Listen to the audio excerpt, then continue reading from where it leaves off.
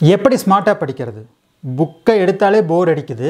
இதில் எப்படி ஸ்மார்ட்டாக படிக்கிறதுன்னு கேட்குறீங்களா அப்போ இந்த வீடியோவை முழுசாக பாருங்கள் உங்களுக்கு ரொம்ப பயனுள்ளதாக இருக்கும். உங்களுக்கு ஹெல்ப் பண்ணணும்னு நிறைய ரிசர்ச் பண்ணி இந்த மாதிரி வீடியோக்களை போஸ்ட் பண்ணுறோம் நீங்கள் இந்த சேனலுக்கு புதுசுனா சப்ஸ்கிரைப் பண்ணுங்கள் உங்கள் ஃப்ரெண்ட்ஸுக்கு இந்த வீடியோவை ஷேர் பண்ணுங்கள் எப்படி வேகமாக படிக்கிறதுன்னு இந்த சேனலிருந்து இருந்து நீங்கள் நிறையா கற்றுக்கலாம் சேனலுக்குள்ளே கிளிக் பண்ணி போய் பாருங்கள் உள்ள உங்களுக்கு பயனுள்ள நிறைய வீடியோஸ் இருக்குது. என் பேர் அரவிந்த். நம்ம படிக்கிறதுல ரெண்டு விஷயங்கள் இருக்கும். ஒன்று கான்செப்ட்ஸ் இனி ஒன்று அந்த கான்செப்ட்ஸை சுற்றி சுற்றி இருக்கிற ஃபேக்ட்ஸ் இப்போ நம்ம கண்கள் எப்படி வேலை செய்யுது? நான் கண்கள் முன்னாடி இருக்கிறத எப்படி கேப்சர் பண்ணி நம்ம மூளைக்கு அனுப்புதுங்கிறது கான்செப்ட் ஆனால் கண்களுக்குள் இருக்கிற பார்ட்ஸோட பேரெல்லாம் ஃபேக்ட்ஸ் இது ரெண்டில் கான்செப்ட்ஸ் தான் ரொம்ப முக்கியமானது. ஏன்னா நம்ம கண்கள் எப்படி வேலை செய்யுதுங்கிறத நல்லா தெரிஞ்சிட்டிங்கனாலே அந்த இன்ஃபர்மேஷன் நம்ம கூடவே எப்போவுமே இருக்கும். ஃபேக்ட்ஸ் மறந்தாலும் பிரச்சனை இல்லை. நம்ம கண்கள் எப்படி வேலை செய்யுதுங்கிற தகவல் தான் ரொம்ப முக்கியமானது. அதனால் படிக்கும்போது முதல்ல கான்செப்ட்ஸை நல்லா படிச்சுக்கோங்க. அதுக்கப்புறம் ஃபேக்ட்ஸை படிங்க.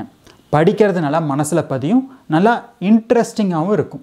வேகமாக படிக்கிறதுக்கு ரொம்ப பவர்ஃபுல்லான வேறு லெவல் ஸ்டடி ட்ரிக்ஸ் கற்றுக்கணுமா உங்கள் மெமரி பவரை பல மடங்கு அதிகரிக்கணுமா?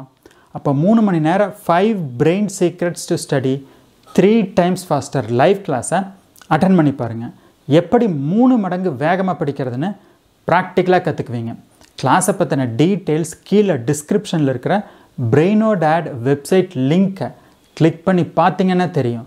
கிளிக் பண்ணி பாருங்கள் ஆர்வம் இருந்தால் கிளாஸில் சேருங்க. அடுத்தது ஆக்டிவாக படிங்க. எவ்வளவு ஆக்டிவாக நீங்கள் படிக்கிறீங்களோ அந்த அளவுக்கு படிக்கிறது நல்லா உங்கள் மனசில் பதியும். சும்மா புக்கில் இருக்கிறத குருட்டுத்தனமாக மனப்பாடம் பண்ணுறதுக்கு பதிலாக இப்போ நான் என்ன படிக்க போகிறேன் இது எந்த அளவு எனக்கு யூஸ்ஃபுல்லாக இருக்கும்? இந்த மாதிரி கேள்வி கேளுங்க.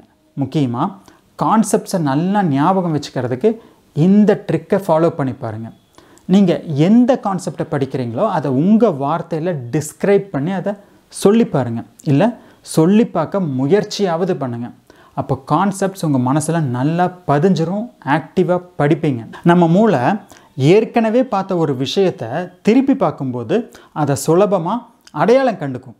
அதே மாதிரி தான் நம்ம ஏதாவது ஒன்று படிச்சிருப்போம் அதை ரிவைஸ் பண்ணுறேன்னு அந்த பாயிண்ட்ஸை புக்கில் திருப்பி பார்க்கும்போது அந்த பாயிண்ட்ஸ் எல்லாமே நமக்கு தெரிஞ்ச மாதிரியே இல்லை எங்கேயோ பார்த்த மாதிரியே இருக்கும். ஏற்கனவே படித்தாச்சு இதெல்லாம் தெரியும்னு நீங்கள் ஸ்கிப் பண்ணிங்கன்னா அவ்வளோதான் மாட்டிக்குவீங்க.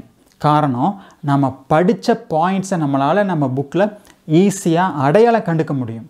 ஆனால் எப்போ அது உங்கள் மனசில் உண்மையிலேயே பதிஞ்சிருக்குதுன்னா நீங்கள் எப்போ அதை பார்க்காம ரீகால் பண்ணுறீங்களோ திருப்பி சொல்லி பார்க்க முடியுதோ அப்போ தான் அதனால் ரீகால் பண்ணுறதுக்கு திருப்பி சொல்லி பார்க்குறக்கு முக்கியத்துவம் கொடுங்க. ஒரு கிஃப்ட் கிடைக்கிறப்போ நீங்கள் எவ்வளோ சந்தோஷப்படுவீங்க? அது எதிர்பார்த்து கிடைக்கிறதா இருந்தாலும் இல்லை எதிர்பாராமல் திடீர்னு கிடைச்சாலும் ரொம்ப நல்லா இருக்கும். இல்லையா? நாம் படிக்கும்போது நமக்கும் படிக்கிறதுக்கு அப்பப்போ கிஃப்ட் கிடைச்சா ரொம்ப நல்லா இருக்கும். நம்ம இன்னும் படிக்கிறதுக்கு நமக்கு உற்சாகமாக இருக்கும். ஆனால் நமக்கு யாரும் தினமும் கிஃப்ட் தர போகிறதில்ல ஏன் நாமளே நமக்கு ஒரு கிஃப்ட் கொடுத்துக்கூடாது உங்களுக்கு ரொம்ப பிடிச்ச அஞ்சு விஷயங்களை எழுதுங்க. அது யூடியூப் ஷார்ட்ஸாக இருக்கலாம் உங்களுக்கு ரொம்ப பிடிச்ச பாட்டுக்களாக இருக்கலாம் இல்லை வீடியோ கேம்ஸாக கூட இருக்கலாம். நீங்கள் படித்து முடித்த உடனே உங்களுக்கு பிடிச்ச ஆக்டிவிட்டிஸ் செய்யுங்க. அதுதான் நீங்கள் உங்களுக்கு கொடுத்துக்கிற கிஃப்ட் படித்ததுக்கப்புறம் நம்ம மனசுக்கு பிடிச்ச சில விஷயங்களை செய்யும்போது நம்ம ஆக்டிவிட்டீஸ் ரொம்ப பாசிட்டிவாக மாறுது. ஆனால் படித்து முடித்ததுக்கு அப்புறம் தான் இதை செய்வேன்னு முடிவு எடுத்துகிட்டு செஞ்சீங்கன்னா நல்லா வேலை செய்யும். நீங்கள் ஒரு ஐஸ்கிரீம் கடைக்கு போனால் என்ன ஐஸ்கிரீம் சாப்பிடலான்னு யோசிப்பீங்க. ஐஸ்கிரீம் சாப்பிடுவீங்க. ஒரு கிரிக்கெட் பேட் பாலை பார்த்தா கிரிக்கெட் ஆடணும்னு நினைப்போம். யாராச்சும் வீடியோ கேம்ஸ் ஆடுறத பார்த்தா நமக்கும் வீடியோ கேம்ஸ் ஆடணும்னு தோணும். அப்போது நாம் பார்க்குற விஷயங்க நம்மளை தூண்டுது. நம்மளை எதாச்சும் செய்ய வைக்குது.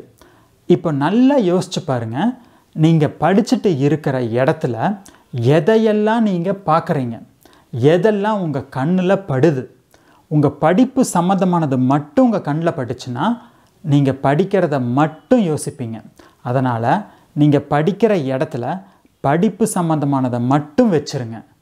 இந்த வீடியோ உங்களுக்கு பிடிச்சிருந்தா லைக் பண்ணுங்கள் இதை பற்றி தெரியாத உங்கள் ஃப்ரெண்ட்ஸ்கிட்ட ஷேர் பண்ணுங்கள் சேனலுக்கு புதுசுனா சப்ஸ்கிரைப் பண்ணி பெல் நோட்டிஃபிகேஷனை கிளிக் பண்ணுங்கள் கடைசி வரைக்கும் இந்த வீடியோ பார்த்ததுக்கு நன்றி. அடுத்த வாரம் இன்னொரு வீடியோவில் சந்திப்போம்.